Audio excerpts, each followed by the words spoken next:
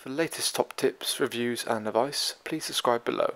Hello and welcome to Attwoolls Camping and Leisure with me, Mike. Today, uh, Chris is joining me for giving you guys a demonstration on how to pitch up a tunnel tent. So this method we're about to use can pretty much use on any tunnel tent you've got, whether it be regardless of brands, Vango, Kampa, Outwell, or even you know some own brown ones. Uh, this method's probably the ideal, most easiest way to do it. Really, with pole tents, you need two people to do the whole pitching process to make it basically less stress on the poles, but we'll talk you through every sort of thing as we go through it um, and really just show you how simple and easy it is to do it when you know what you're doing. So we're using the um, Kampa Hayling 4 for an example. So the first thing we're obviously gonna do is just open up and just spread it out and find our position where we want to use it to.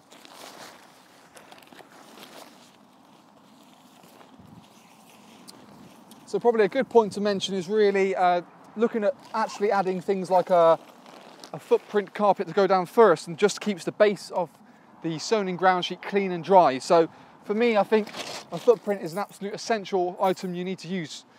Purely for the purpose of this video, I'm not gonna bother using one. Um, but like I said, really, if you're looking at buying something like this, it is an absolute must. So all we're gonna do really is just spread out the ground sheet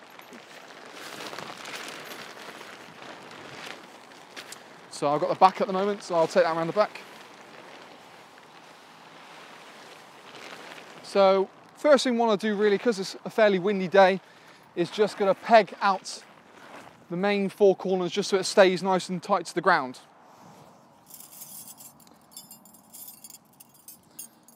There you go. Thank you.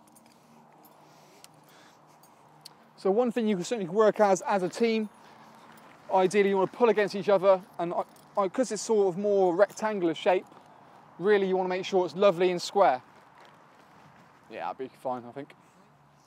Peg going in about a 45 degree angle, just that way it's the best way to make it more secure.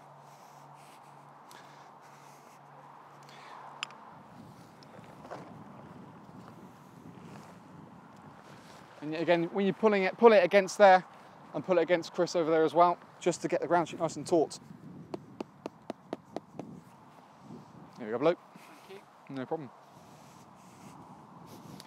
So way up actually, because the wind's coming this way, it's going to help us actually get the actual tent up. So this part of this particular one, you've actually got a, it's like almost like a so open canopy.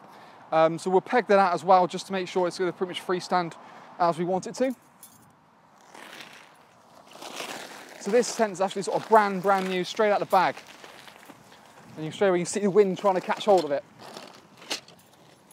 So yeah, again, same sort of principle. You want to keep a rectangular sort of formation going straight down. So all I'm trying to really do is just make sure that's dead in line with my pegging points I got there. Thank you very much. Still a 45 degree angle when putting the peg in.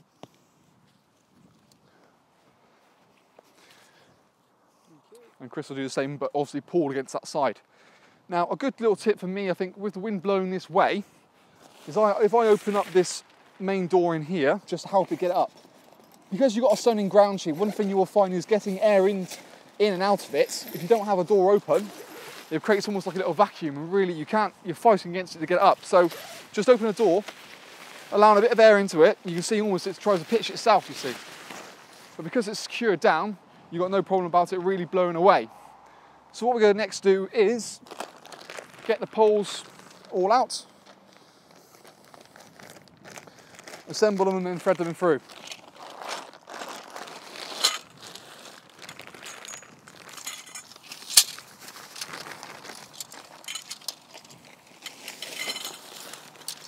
So the joy of this particular tent is the fact that actually all of the poles are the same length. So you don't, doesn't matter which order you get them in, um, it's easy enough to do. So admittedly other tents on the market which have sort of different poles for different sections like above the bedding area or the canopy area.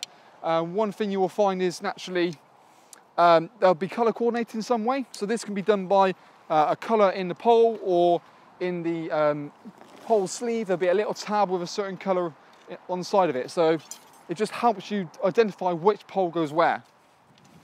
But like I said, with this one, we're lucky enough that all the poles same length, so we can just pretty much lay it out like so.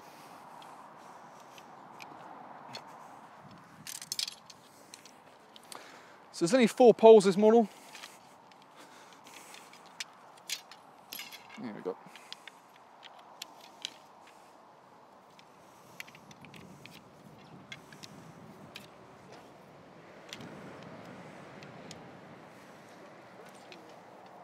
What we'll probably first do is start, because the wind's obviously helping to assist, we'll probably start with a canopy pole just to get air inside of it.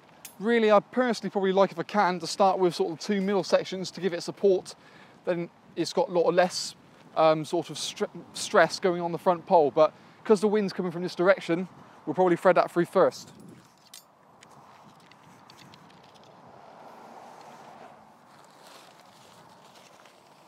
Now the trick really is to work as a team, making sure the pole slides through quite easily and simple. And it's just making sure it goes through dead straight, doesn't catch anywhere as well.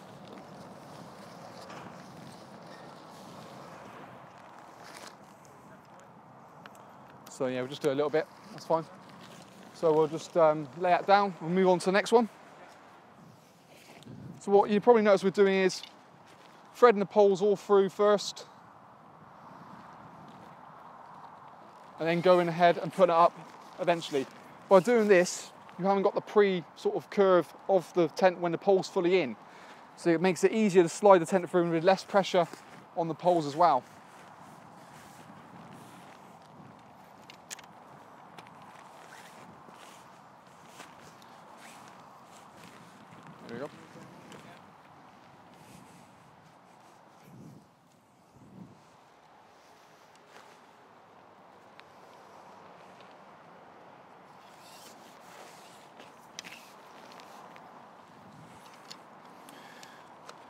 And what we're doing is when we're feeding from one side, we're just going just enough so the pole's just going to reach the eyelets on the other side. So I've got more sort of excess on this side.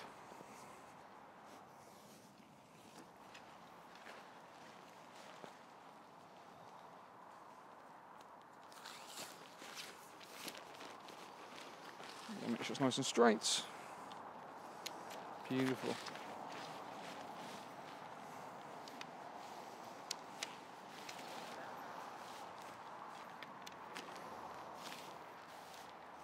All all right your side? Yeah. Perfect. So what we'll probably do is start in the middle because obviously that's where the main amount of the material is being drawn to. Um, so Chris, you would be so kind to pop the uh, point in there. Like I said, because we did that part early with getting the air inside of it, we're not fighting against material sort of being vacuum packed. So now it's in place, we can just carefully sort of hold the material up as we push through until we get to the pole nice and straight and I'll just pop it in the ring and pin down my side here. So now that's in, we'll probably just clip them on now.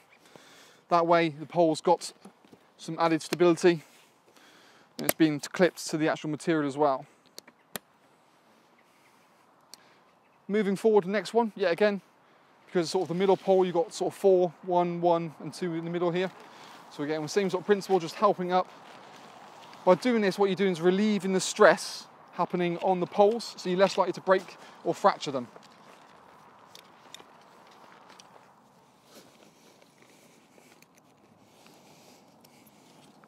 And that goes in simply there as well.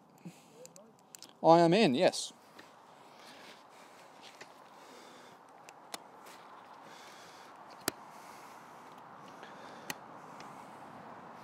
then we'll go for the canopy as well.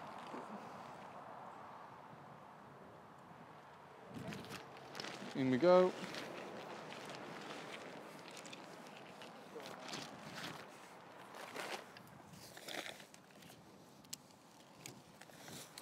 What I'll probably just do is unravel the main garret point just here, just so we can uh, leave this all nicely pegged out. So bring that forward.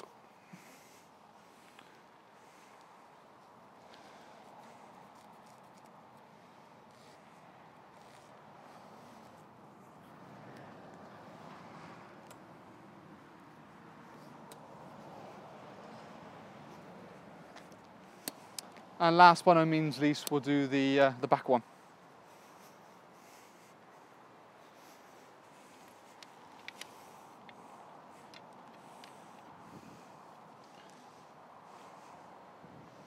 You all good? Perfect, we'll give him a go then.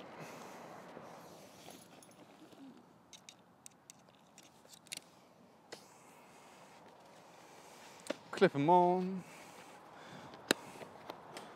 So really by just doing the main four pegging points, the tent will pretty much freestand on its own. Obviously with the extra guy rope at the front, just gives it that canopy a bit more of an extra strength. Um, now we've done that, what we first want to do is obviously guy it out to make sure it's strong enough against the wind. So, like I said, all the guys are quite neatly um, tied away. So this part is a great thing to do because it means all the guy ropes don't get tangled up when you're packing it away, but can be a little bit more of a faff when you're putting it up. But then again, if it's a, a nice day like it is today, it doesn't matter too much really. So normally you can tell where the um, pegging point needs to be, where you want to position the guy by where the tag's coming forward. So you can see from this front canopy it needs to be bracing against it and just pulls the canopy out nice and tight. And still inserting the peg about a 45 degree angle.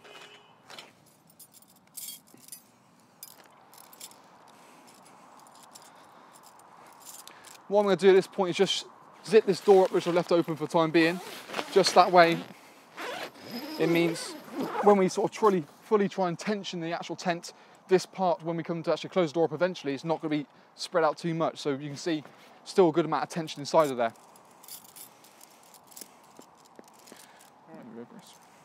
I'll take out this side.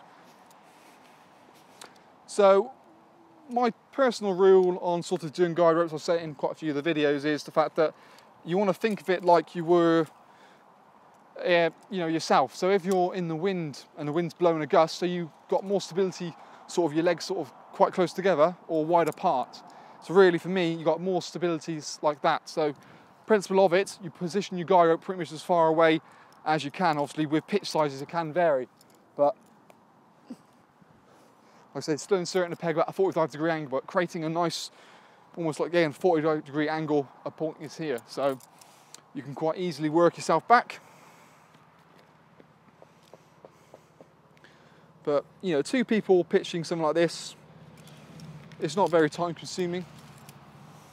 You can go up pretty darn quickly to be fair.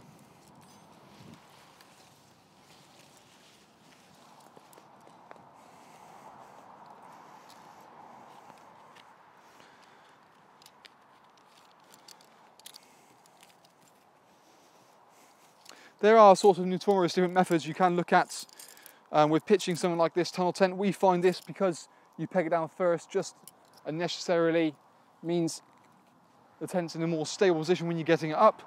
Um, one thing to bear in mind that if you do this method, you do need two people, purely just because the stress on the poles, it just, by having two people alleviates the stress and you're in a more controlled situation. The other alternative way of doing this is by pegging sort of threading all the poles through first, peg the back out and then sort of in a concertina shape lift it up and then bring it forward.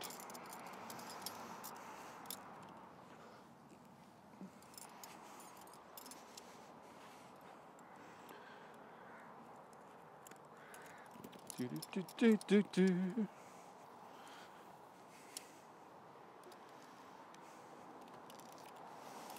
So while I've been doing the guy, Chris has very kindly gone around and done the sort of the back and the base. Just making sure it's all nicely pulled out.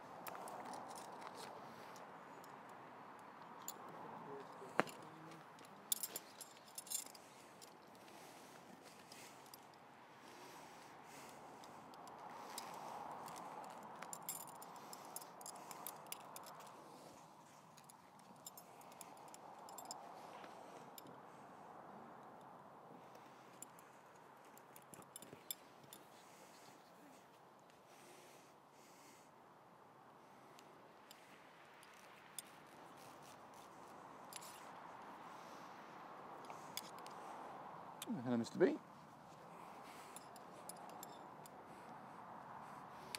So essence, we're pretty much done dusted now. You can see it's quite nicely up. Door looking crisp, it's all looking nice. The roof is nice and tight, and you've still got of again having the guy ropes as far as they can. You've still got loads of tension. So one thing you will notice is the guy ropes tend to slip after a little while. So after a sort of a day or two, they tend to slip a little bit, so you've still got loads of room to tighten them up and get that extra tension back into it were actually going ahead and repegging it. But in essence, clearly quite easy and simple to put up. There is also a packing video as well of this particular tent, which you can check out where we talk you through the best way to do it and managing all of the air. So check that out as well. But um, in essence, any questions, you can always contact us at Attwoolls via YouTube, Facebook, or our website. So in essence, that is how you pitch a tunnel tent.